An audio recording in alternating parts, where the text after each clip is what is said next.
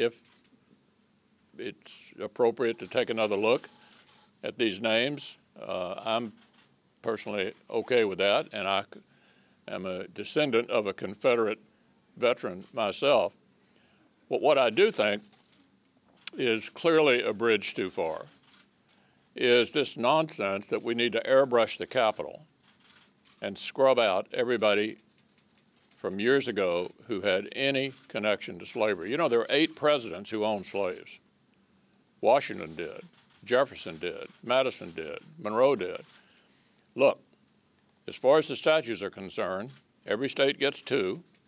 Any state can trade out, as Senator Blunt pointed out, if they choose to, and some actually are choosing to for one reason or another.